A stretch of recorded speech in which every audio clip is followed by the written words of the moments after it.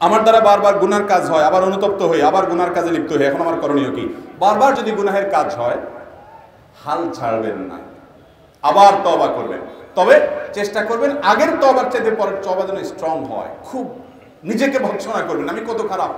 আগে না তবা করছি, আল্লাহর কাছে আর এই কাজ করবেন আবার করে ফেললাম। তাহলে এবার নতুন করে স্টেপ নেন, কেন হইল ওখান থেকে আরও শক্তভাবে দূরে সরেন। এরপরে আবার কখনো গুণা হয়েছে আপনি মন ভাঙবেন না, আবার তবা করবেন। মনে রাখবেন আরে ये কুস্তি তো হয় অমর ভর কি? কবি ও দাবালে, কবি তু দাবালে। শয়তানের সাথে লড়াই তো সারা জীবনে। কখনো সে আপনাকে হারাই দিয়া পাক করাই ফেলবে, কখনো তওবা করে চোখের পানি ফেলে মালিককে খুশি করে আপনি পাস করে যাবেন। চেষ্টা করব না ইনশাআল্লাহ? ভাইরা আমার, ইবলিস আপনাকে বলবে, তোর মাথা খারাপ হয়েছে তুই যত আকাম করছস, যতবার খারাপ কাজ করছস, তোরে আল্লাহ মাফ করব? তো আরে মাপ টাপ চাইস না। এই কোন মুখে আল্লাহর কাছে মাপ চাবি? আপনার কাছে মনে হয় আপনার ভিতরে একটা ফেরেস্তা ফেরেস্তা ভাব আসছে না? ওইটা শয়তানি শয়তানি ভাব। শয়তান আপনাকে নিরাশ করছে, আপনি শয়তানকে বলবেন, না, তোমার এই ফন্দিতে আমি পা দিচ্ছি না।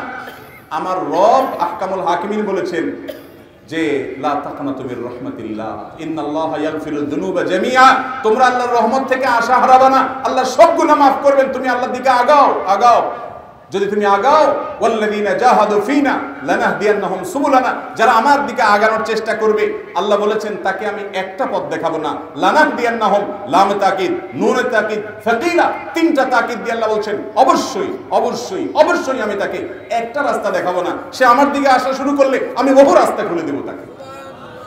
যুবকরা গুনাহ ছেড়ে আল্লাহর দিকে আসব তো ইনশাআল্লাহ। সৎ সাহস করব। শয়তান আবার কাজ করে ফেলছে। ওই কবিতা মনে রাখবেন, আরে ये কুস্তি তো হয় আমার ভর কি? কবি ও দবালে, কবি তু দবালে। শয়তানের সাথে লড়াই তো আজীবনে। কখনো ও হারাই দিবে, কখনো আপনি হারাই দিবেন। এভাবে করতে করতে শেষ নিঃশ্বাসের আগে আপনি ওরে হারাই দিয়ে যদি যেতে পারেন, শেষটা ভালো যদি করতে পারেন, আল্লাহর কাছে জান্নাত পাবেন। অতএব নিরাশ হওয়া যাবে। কিন্তু তার মানে আবার এই না যে আপনি মনে করলেন, ঠিক আছে, তাহলে হুজুর বলছে আকাম করতে থাকব আর তবা করতে থাকব, আশাও ছাড়া যাবে না, পাপও ছাড়া যাবে না। ভাই, সেটা বলা হয় নাই।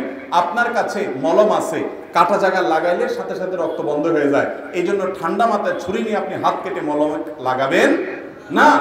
কেটে গেছে, তখন লাগাবেন। অতএব পাপ হয়ে গেছে, তখন তবা করবেন। ঠান্ডা মাথায় তাপ, ঠান্ডা মাথায় জেনে শুনে পাপ করলে সেটা আল্লাহর কাছ থেকে মাপ পাওয়া বড় কঠিন। তারপরেও নিরাশ হওয়া যাবে না।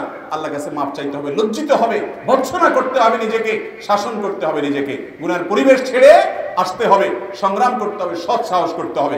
যারা গুণ ছেড়ে আসতে পারছেন না, ইমান দুর্বল হয়ে গেছে নেককারদের সোহবতে যাবেন, ভালো মানুষদের সাথে থাকবেন, ভালো মোত্তাকে বন্ধু খুঁজবেন। আমি প্রায় বলার চেষ্টা করি, যুবক ভাইরা, এমন কিছু যুবক পাবেন, এমন কিছু বন্ধু পাবেন, জীবন চলে যাবে, হারামের ধারে কাছেও যাবে না, সংগ্রাম করে বেড়ান। এদের দাম কোটি কোটি কোটি টাকা, এরকম বন্ধু পাইলে আঁকড়ে ধরেন, তাদের সামনে দিয়ে থাকেন। দেখবেন গুনাহের প্রবণতা দূর হয়ে গেছে ইনশা আল্লাহ আমাদের ভাইদেরকে গুনাহ থেকে, আমাদের সবাইকে গুনাহ থেকে বেঁচে থাকার তফিক দান। আমি এক পরীক্ষার্থী, পরীক্ষার হলে মাঝে মধ্যে দেখা যায় টিচার নকল করতে সাহায্য করে।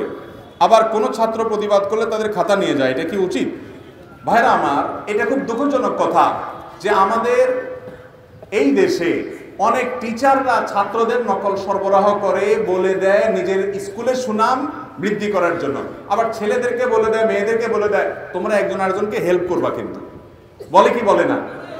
এই দেশ এই দেশের নীতি আদর্শ যে ধ্বংস হয়ে গেছে, এ ধ্বংস হয়ে গেছে কেন? যেখান থেকে মানুষ শিখবে, সেই জায়গাগুলো কি হয়ে গেছে? নষ্ট হয়ে গেছে। আমরা ছোটবেলা যে স্কুলে পড়েছি, আপনারা যারা পড়েছেন, একটু কল্পনা করেন তো, যারা সিনিয়র আছেন, চল্লিশের উপরে যাদের বয়স হয়ে গেছে, তারা ছোটবেলা যে স্কুলে পড়েছেন, আপনাদের স্কুলে যে মাস্টার সাহেবরা ছিলেন, একটু কল্পনা করেন তো, তাদের স্মৃতিটা আপনার স্মৃতিতে ভেসে আসুক, তারা জীবনে আপনাকে এই কুকাম করার জন্য বলবে, এরকম মানুষ তখন খুব একটা ছিল না। তারা সততার কথা বলতেন, তারা বাড়িতে বাড়িতে গিয়ে পাহারা দিতেন, ছেলে পড়তেছে কিনা।